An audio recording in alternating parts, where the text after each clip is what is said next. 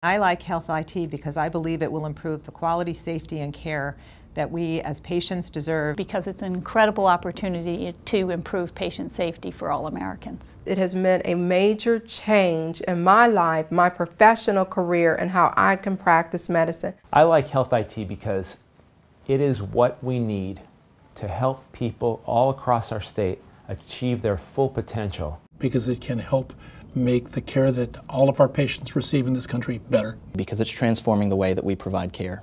I like Health IT because of the difference it can make in the quality of care that we provide the people of our country in improving the overall health and well-being of the American people. I like Health IT because it will finally bring innovation to a field where we desperately need it. And best of all, it will help me play a more active role in taking care of myself and my family.